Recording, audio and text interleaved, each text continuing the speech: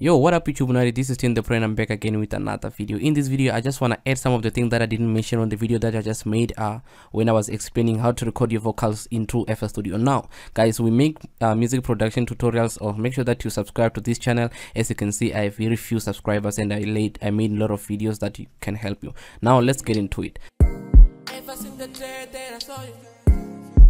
The first thing that you want to do before recording any vocals, you need to make sure that you set up your microphone. And the way you can do that in FL Studio is to go to the option here and then you click audio settings. Make sure that you choose FL Studio ASIO device or you can choose the name of your sound card or audio interface. In this case i'm just going to be using fl studio ASIO so the, the the, the second thing that you need to do is to make sure that you set up this ASIO so that it can pick up voices from your microphone.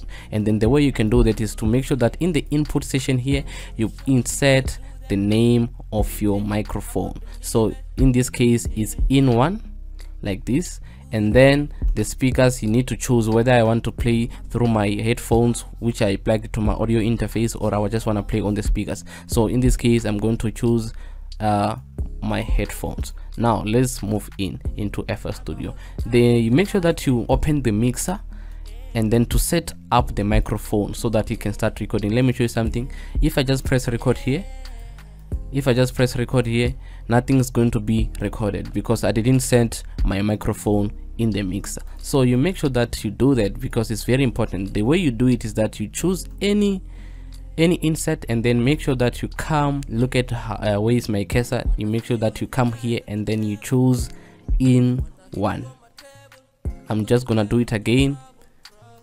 You choose any insert you come here you press in one as you can see my microphone is starting to move up and down to show that then now my microphone is working. So i just want to add this tip that uh, i would like to share with you uh, make sure that you when you are recording the vocals you can add some of the uh, plugins here so that you can just record the vocals directly. Usually i add a compressor so that i can just record my vocals with a compressor on the vocals. So that's what i wanted to show you. You can just do it like this and then you add a compressor. Don't compress too much because you don't want to affect too much of your vocal before you do the processing stuff. So you just have to set it uh, at a good ratio and then not too much this is just for control. Make sure that your vocal when you're recording are being controlled. And then now if you can check if i can press this recording button the voice is going to be recorded. Look at this. Yo just make sure that you subscribe because it's very important. As you can see now my voice has been recorded. This is my voice. This is how you record vocals into fl studio. I'll see you in the coming video